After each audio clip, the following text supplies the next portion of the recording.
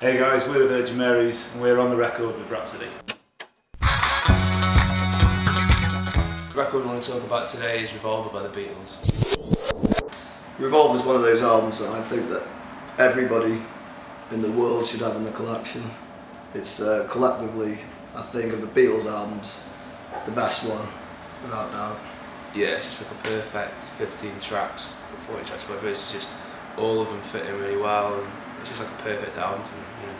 Uh, for me, like the, the song Tomorrow Never Knows is like this. It's almost like the start of kind of dance music. You know, like the bass and the drum bit that's used in it. I feel like the Chemical Brothers have used something similar. So yeah, that's a real standout track for me.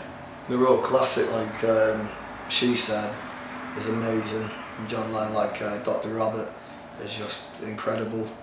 And uh, Eleanor Rigby, like probably one of the first ones with the